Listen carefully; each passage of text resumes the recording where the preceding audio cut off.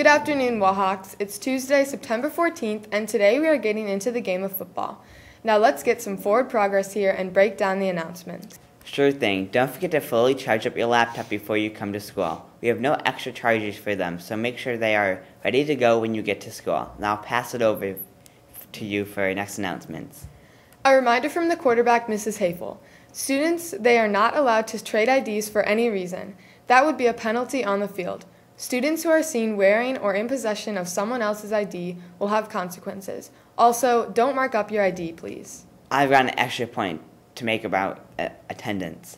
If you're going to be absent, don't make a rookie move. Please have a parent call the attendance office at 563 552 4811 before 8 a.m.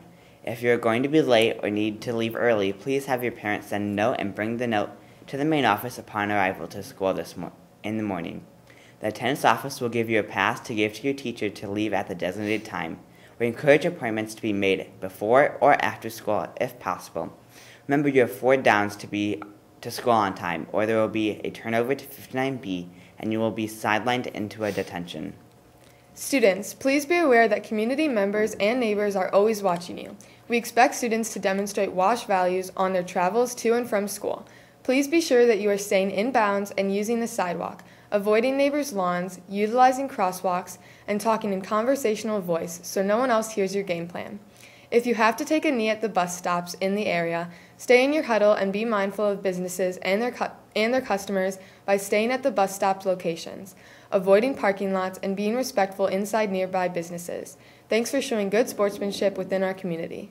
For your halftime entertainment today, we are hoping to have you stop by the, after school to the VPA meeting today. If you're interested in auditioning to be in the cast of The Wizard of Oz, it is 2:30 to 3 p.m. in the auditorium. If you cannot make it, the info will be posted on the VPA board located across the auditorium on Wednesday. And don't forget to sign up by this Friday for WTV. The link to sign up is on the WASH website homepage. Here's a great team to join. Washington's Gender and Sexuality Alliance group is back this year. This group is a judgment free group for all students to feel comfortable being themselves. In this group, we will have open discussions, participate in a variety of activities, and get involved in the school community. All are welcome. First meeting will take place after school on September 21st or September 22nd. Reach out to Mrs. Doughty if interested. And a quick note about the robotics team. This fall, the team is only open to 7th and 8th graders.